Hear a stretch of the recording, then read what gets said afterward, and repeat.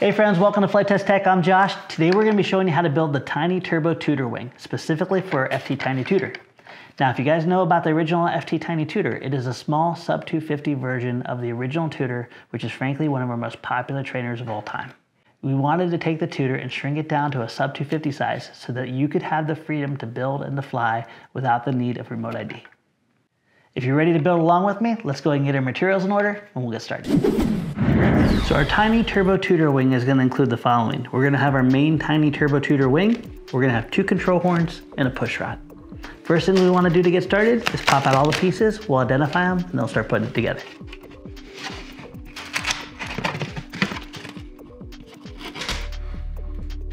Now that we have all our pieces popped out, let's go and identify them and we'll start assembling. First we have our main wing section. Now this wing section is not going to require any dihedral, so the center seam here we are going to be gluing together. Following that we also have our main center spar and our outer main spars. Let's go ahead and first glue the seam together, and I always like to keep these little scrap pieces of foam handy because they make fantastic squeegees. Now this is our Flite Test FT300 glue gun. One reason why I really love this is because we have a temperature gauge on the bottom. Now a lot of people think more heat means more control and better experiences with hot glue. It actually makes the glue boil because this can go all the way up to where you can glue wood together. I like to set mine between the medium and the one notch below. In this case, I'm right on the one notch below. It's a smaller airplane. I still have plenty of time to work with the heat, but it's not so hot that it's gonna take long to build. To glue the two wing halves together, I'm gonna start and stop about a quarter inch from the edge. And I'm gonna put a nice healthy bead of glue because I wanna see this squeegee out when I fold it together. Now I can lay it flat up against the table and I can run over this and scrape off any excess. Keep this held flat up against the table to make sure that it doesn't hold any warps to it so your wing is nice and flat. We're gonna give this about a minute to fully dry before we move on to the next step. Now the Tiny Turbo Tutor Sport Wing here is going to bring your airplane over 250 grams. One technique you can use if you choose, and we demonstrated even in our recent videos like the weight loss challenge, is by peeling the paper from the interior foam from your wings and also your fuselage. About 40% of your weight is actually in the facing paper on our foam board, so removing one portion of that can save you a lot of grams. Now that we have our wing halves together, I'm just gonna take my razor blade and I'm gonna lightly go through the score line just to reestablish where my leading edge is. Make sure that you don't cut through the facing paper on the bottom. Now I'm going to fold this over 180 degrees and now I can cut my double bevel on both sides of my leading edge. To cut a nice bevel cut, you're not going to hold your razor blade 90 degrees to your cut. You're actually going to angle it very sharp and this is going to help your razor blade glide through the foam without wandering back and forth. Now one thing to keep in mind is you want to keep it off the center facing paper in the middle. So what I like to do is I hold at a acute angle. I always look ahead of my cut and I make sure my fingers are away. And as I glide it down,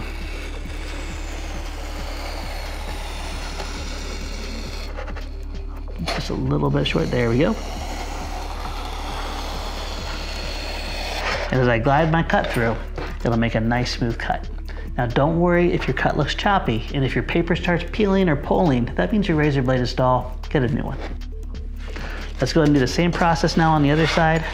Again, I'm just kind of angling this towards the camera so you guys can see it. My blade is at a nice cute angle. It's not at 90.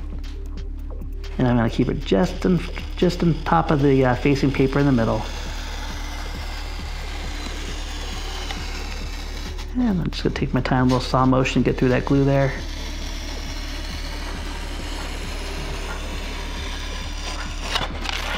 And there we go. Notice I started and stopped it just beyond where the uh, fold is. This is gonna give me the ability to fold it over, but it's not gonna make these outer wing tips thin or weak. Now it's a really good idea to kind of establish your bend, and what I like to do is slowly rock this back and forth, not in one motion, but in a few, until I can just about get it all the way to 180 degrees. If you can't easily bring it up to 90 degrees, that means your bevel cuts aren't deep enough, Go ahead and shave a little bit more foam off until you can easily bring it up to at least 90 degrees, preferably a little bit beyond it. Using flat hands, I'm just gonna press this down all the way to 180 and you can see my wings already wanting to take shape and that's good. Our next step is to install our spars. My center spar is gonna go right in the middle, just like you see here. Because we have no dihedral, we just glue it right down. One thin bead of glue is all you need And again, if you wanted to save weight, you could peel all the paper. There we go, there's one. And the same process now on our outer spars. We always like to do a test fit first. It should uh, end up really nice right in between all the etch lines, and it does. A simple bead of glue is all we need.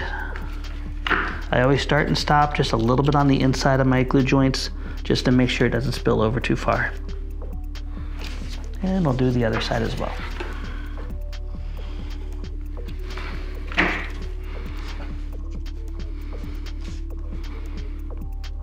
We go. We're gonna let this fully dry for at least 30 to 40 seconds, and then we can start establishing the curve in our upper portion of our wing. Now using our thumb and our fingers here, I'm gonna put my thumb under the top surface of the wing, and I'm gonna very gently start folding this down. And you're gonna see it starts an under camber. Now, if you've already built the original Tiny Tutor, this is very similar, but also a little bit different because this bottom plate actually goes much further back, and that's to give us a faster, more aerobatic airfoil. Establishing that curve ahead of time is gonna make it easier, so when we fold this over for our first fold, it's simply gonna fall into place very nicely. We do wanna lock down this wing shape, so I'm gonna put a light bead of glue now, right down the edges. I don't have to go all the way completely to the edge on both sides.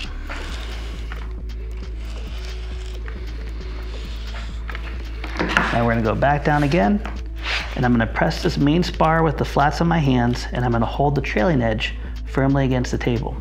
The important thing is, is our center spar should be parallel to the table and the back trailing edge should be touching firmly against the table. You don't have to push hard with the tips of your fingers or else you're gonna dent the foam. Just simply spread your hands out, leave them nice and flat, and hold it in place. Oftentimes you'll see me kind of wandering back and forth. That's just to make sure that the glue is pressed out and flat everywhere around it. After about 30 seconds, you're gonna see that our airfoil has now been established and we're ready to glue this down. Now before we put the glue down, make sure that you have plenty of glue in your hot glue gun or you have an extra glue stick by your side, just in case you run out. I always like to start at the leading edge, starting and stopping about a quarter inch. Now I'm gonna go to the spars, one, two, and three. And then finally, the trailing edge of the bottom plate try to keep it easily within a quarter inch. There we go. Now we're gonna fold this over. Again, using our hands nice and flat, we're gonna press this down. And after about a minute, minute and a half, we have a wing. The only difference is now we have to cut our ailerons in. Let's go ahead and do that next. Our score cuts are already made. All we need to do is bend our aileron 180 degrees and we're ready to bevel cut on the aileron side. Same way that we did on our leading edge, we're gonna make sure that we start our razor blade, and it's kind of difficult to get right to the very edge. So what I like to do is come back and just use a little bit of a sawing motion and finish it off. So I'm gonna start right about here. I'm gonna go down in, and I'm always focusing the head of the razor blade, but also looking at that facing paper.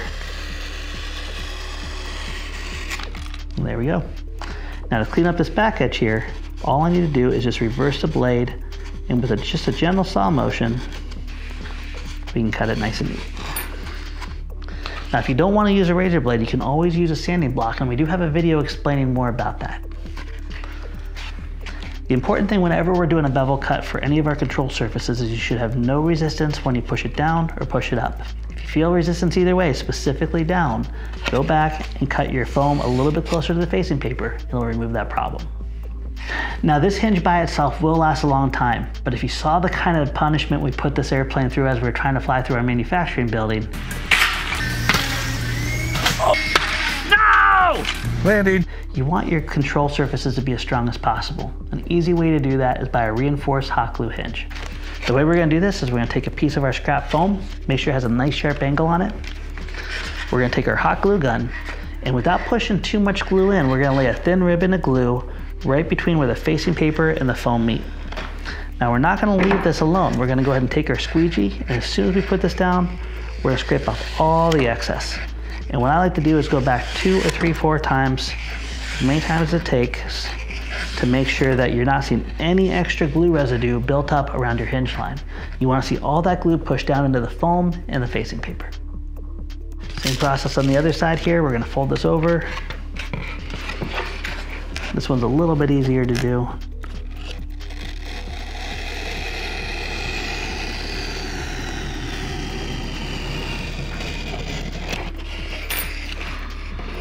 I'm just gonna dress this up just a little bit here.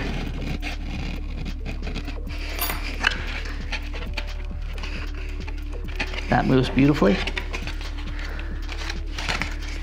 Grab a scrap piece of foam, Again, the very tip is gonna go right on top of our facing paper. Really thin bead of glue right down the middle. Then we'll take our scrap foam and squeegee off the excess.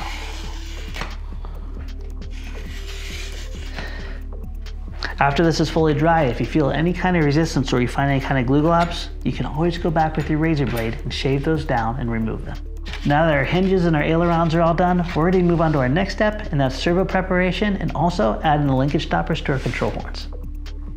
The servos that we're going to be using are the exact same servos we're using on the original Tiny Tutor, and if you bought our Power Pack A, you're going to have two extra servos and also the extra linkage stoppers included in that kit. The servo arm that we're going to be using for this application is going to look just like this. Now you're gonna notice that there's two sides, so we wanna remove one side. In this application, we're gonna go ahead and start with the first servo arm, but if you want to later on and you really wanna get crazy or you're an advanced pilot, you can go to the middle one. I would strongly recommend, no matter what your skill level is, start with the very first hole before moving on. This is gonna give you the most resolution and also really good control.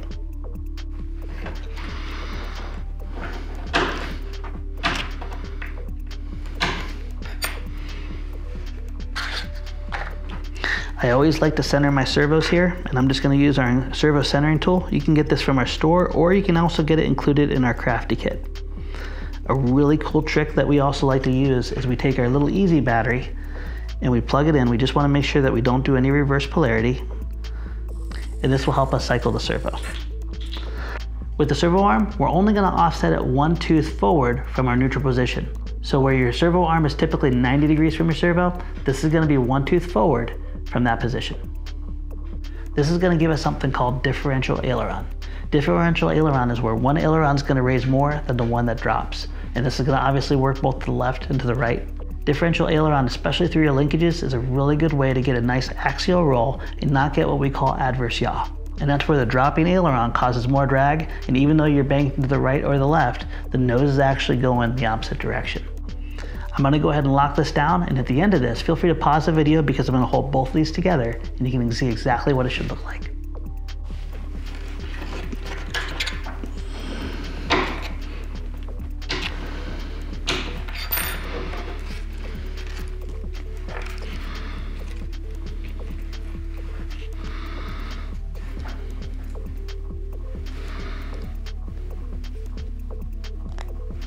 And you can see that both these are nice and centered and they're both leaning towards the front. Now when we install these, we're gonna to want to make sure we put the right one on the right side and we'll cover that next. But first, let's go ahead and make sure we take our servo screw and lock these down. Now whenever we're taking a servo arm screw, you're always gonna to want to make sure that you pick the shortest, smallest screw. This servo screw here is actually meant to fasten your servos down when you have maybe a plywood servo mount. The smaller one is the one you want to use in your servo arms. If you put the large one in the center, you're gonna strip out your gears and blow up your servo. It's really important just to, to keep your servos nice and safe, especially these lightweight ones. Always support your servo arm as you tighten it down and don't over tighten your servo screw. These smaller servos are incredibly durable for their size, but keep in mind they're very small and they do have plastic gears. So support them whenever possible and don't over tighten your screws. All right, one last test. And that's good. I'm gonna bring these back to the middle and then we can unplug them. Let's also prepare our control horns. Our control horns are gonna fasten into our aileron, and one thing I've absolutely fallen in love with, and I can't believe I'm saying this, is these linkage stoppers. In our version 2 of our new power packs, we now include the brass linkage stoppers, and my favorite feature about them is we're able to once again source our little nylon stoppers. That means that you're no longer having to spin the little nuts on the bottom and then lock it down with either some Loctite or a drop of hot glue or even CA. You simply can pop these on and they clip right in place. They're incredibly easy to install and even easier to adjust now. To install our linkage stoppers, all we need to do is pass it through the control horn hole. The hardest part is picking up our little nylon piece. And then all we have to do is press it into place until it pops. Make sure that we have our two linkage stoppers facing away from each other.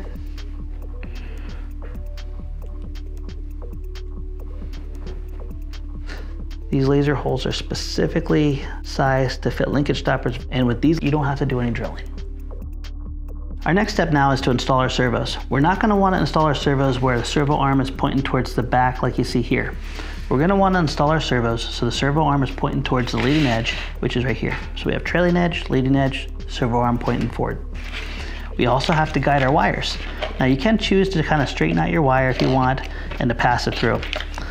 But we also give you the single wire here and there's plenty of length on this to have multiple attempts at cutting and making your push rods. I'm gonna go ahead and take my pliers and I'm just gonna bend a simple hook. The simple hook is all we need to be able to pass right on through. And with a little bit of an angle here, I can now grab my servo wire. I like to kind of pull it down just like that. And then pass it right on through. You're gonna notice that this is perfectly cut out to easily be able to lay down nice and flush. Let's go ahead and do the other side here and we're not gonna glue our servos down until we make sure everything works and fits properly.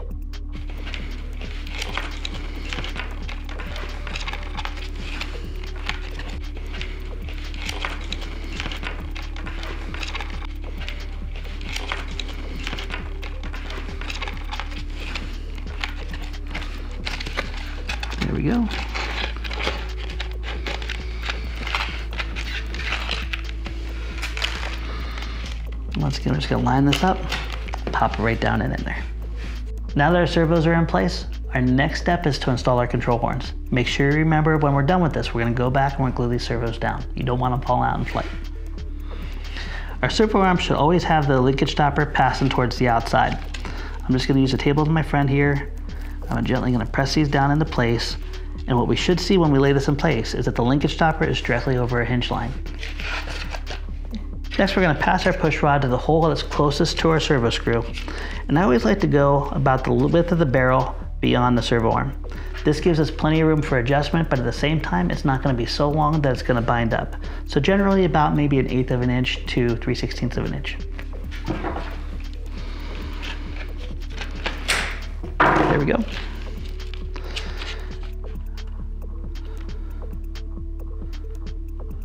I can pass this down.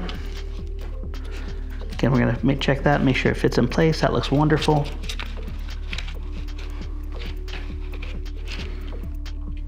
There we go. Now I can simply put a bead of glue right down where the control horn is gonna go and glue it in place. Once we power up our servos one last time before we glue them down, we'll be able to center this up and lock down our linkages. Same process now on the other side, but we need to make our own push rod because we only have one wire. A really easy way to do that is by simply taking your pliers and we're gonna grip this about one centimeter or quarter inch down. We're gonna bend it 90 degrees. ready. There we go. You can see we have our 90 degree bend right there. Now we're gonna go about three millimeters down. We're gonna grip it really tight and you can see that I'm holding this perpendicular to my pliers. When I bend this 90 degrees again, what we're gonna have is what we call a modified Z-bend. A modified Z-bend is really good to be able to kind of poke into a control horn or a servo arm, but we don't want it in this case. So now our next step and our final step is we're gonna grip this and slowly rotate this 90 degrees.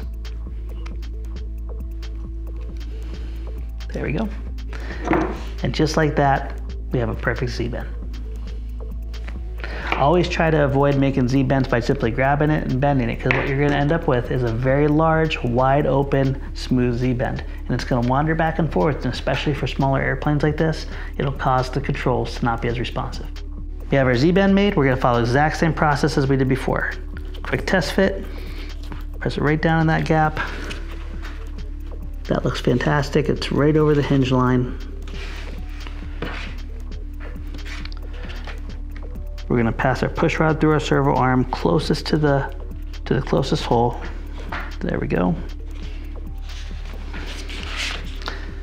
And again, about an eighth to three eighths, sixteenths of an inch past the barrel, we're gonna cut it. Hold on to your push rod wire because you never know what scratch build you're gonna do later or if you wanna make some replacement parts. Now we're gonna pass this through. One last fit, that's perfect.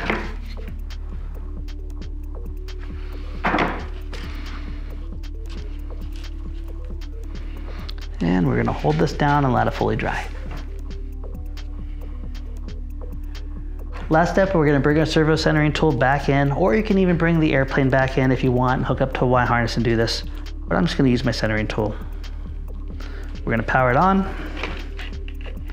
And just like before, we're gonna plug it in. There's one. And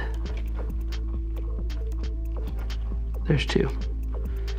What I'm looking for here is I'm making sure I line up my ground and my signal. My ground is gonna be either brown or black and my signal is gonna be either orange or white. So you can see I could wiggle these. What I want is a light in the middle to be centered. Let's go ahead and just slightly lift up our servos. I'm gonna put a bead of glue, making sure that we don't accidentally glue our servo arm down, and we're gonna press it down into place.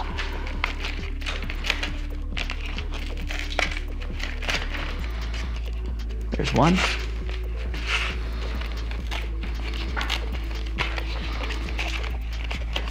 And here's two.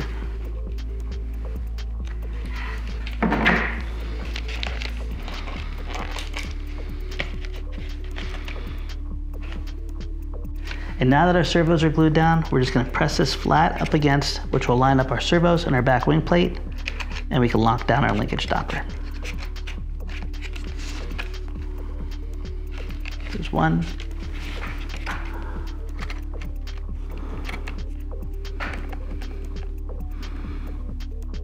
And there's two. Now you're gonna see when I cycle this, that the aileron that raises, raises much higher than the aileron that lowers. And that's how we were able to get those very nice axial rolls to be able to roll it around without that adverse yaw. Now, one last step that you can do if you choose here is most likely if you've already built a tiny tutor, you have a ton of these lying around because we always include extra. You can reinforce this back trailing edge of your wing from your rubber bands simply by cutting a piece of barbecue skewer just slightly shorter than the actual foam because you don't want it to bind with your ailerons. And we can glue it right on the top. Now this isn't a have to, this is just if you want to make it just a little bit more durable. I'm just cleaning out that center. I had a little glue glob that was kind of keeping this up a little bit. And that's gonna sit nicely right there. This is more just of a tip. It's not a necessity, but I do love how durable it makes the wings. There we go. Well friends, at this point our FT Tiny Turbo Tutor Wing, try to say that three times fast, is now done. We're ready to move on to our next step, which is installing it. And just like in the original video here, our center of gravity is established through these knots right here. All we need to do is plug our Y harness in and connect it to our aileron port. Let's go ahead and do that right now. Now, if you're working with a six channel radio, you could run these down and you could even program things like flaperons. We're not gonna worry about that right now. We're just gonna use our Y harness and we're gonna plug it in. Make sure that you line up your signal wire with your signal wire on your wire harness. And check this with every connection, no matter how many planes you've built, because it's so easy to accidentally plug it in backwards. As I mentioned before here, I'm gonna go ahead and take my throttle port. I'm gonna plug that into port number one. So we have in the Spektrum, we have battery, and then servo port number one. My Y harness is gonna go into port number two. And again, we're making sure that the signal lines up with the signal. In this case, it's on the top.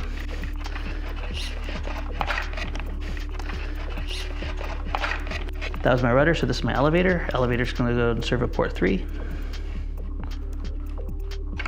And finally, rudder goes into servo port four. Now these wires are plenty long enough and I also have my propeller removed. Anytime we're messing around with first setting up an airplane, always remove your propeller. I'm gonna go ahead and plug this in right now. We're gonna power on the transmitter. We're gonna make sure everything works the right direction. And the transmitter's on first. We're gonna plug this in. All right, so now we can go ahead and tentatively put everything back in. And we're just gonna check and make sure that all of our controls are working in the right direction. Now typically when I set this up on the field and I'm checking my direction on the field, I'm always making sure that I'm looking uh, down as if I'm flying inside the airplane.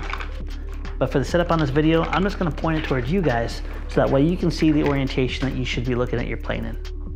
So when you're checking your servo direction, this should be the orientation you're looking at. You should be looking down, you should be looking down the plane towards the nose. I'm gonna hold my transmitter up and the first thing we're gonna do is we're gonna check our aileron control. On my right stick, if I push my stick to the right, you should see the right aileron go up. And it does. Same thing with the left, left aileron goes up. Our ailerons are perfect. Now when I pull my stick back, I should see the elevator go up. And it does. Push forward, we're going down, elevator's going down. And then finally, when I push my rudder to the left, I should see my rudder deflect left and deflect right. All right, everything is now set up here. I'm gonna go ahead and I'm gonna assign two different rates here. Although this is minimal deflection compared to many aerobatic airplanes, this will spin this plane like a drill bit. So all I need to do is I'm first time flyer, I can go to my servo, I can go over to travel, and I can dial this down to maybe 80 or 75%. Another thing I can do is I can go to the main screen, and I can go to dual rates and expo, I can go to my aileron, and I can even assign this to a switch. In this case, I'm just gonna leave it on the whole time. I'm gonna dial my rate down to 80%. And I'm gonna dial my expo, that's the softness in the middle, to about 25. This is gonna be a nice gentle control right in the middle, but if you really wanna get aggressive, you have that extra control on the outer part of your stick. You can adjust this to any way you want, and you can even assign this to a switch where you can have low rates and high rates. And that's covered in our setup videos that you can find easily, or you can read the manual. All right, I'm gonna go ahead and back out of this. Everything's working great. Let's go ahead and just set my battery in here. And our last thing we wanna do is we just wanna check our center of gravity here. What we should see when we put our hands on the dots is this perfectly level or slightly nose down. Now this is pretty much perfectly level, which means when I put my prop on, we're gonna be all set to fly. Thanks for being part of the Flite Test family, and we'll see you next time.